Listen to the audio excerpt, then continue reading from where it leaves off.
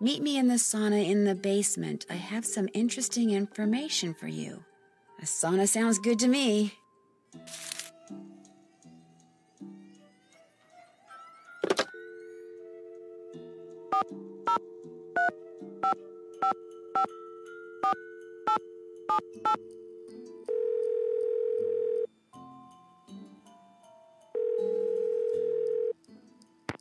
Pinevale Hospital, Nurse Blake speaking.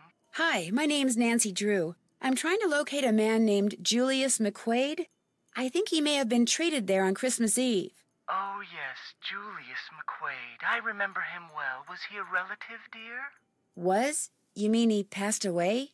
Yes, dear. Viral pneumonia.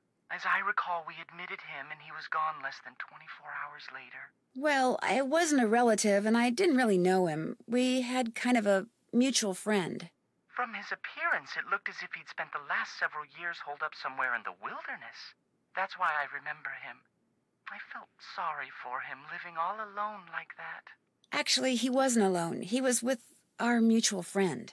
Well, that's good to hear. You weren't able to locate any next of kin? No, I'm afraid we weren't. When he came in, all he had were the clothes on his back. No wallet, turned his clothes over to the authorities along with his remains. But last I heard, they weren't able to locate any relatives either. I'm sure by now he's been cremated. Well, thank you for the information. Sorry the news couldn't have been better. Goodbye, dear.